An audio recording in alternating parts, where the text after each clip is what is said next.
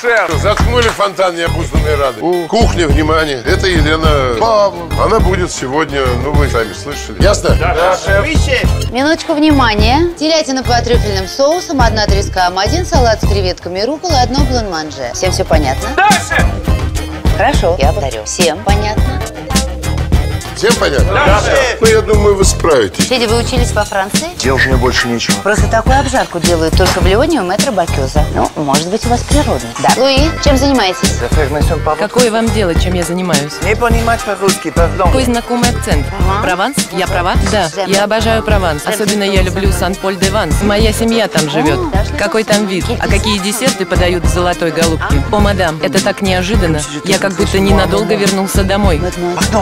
Федор, приготовьте, пожалуйста, еще две порции креветок, так, как вы умеете. Хорошо. А, зря похвалили его, а он и пойдет. Арсений, а вы считаете, что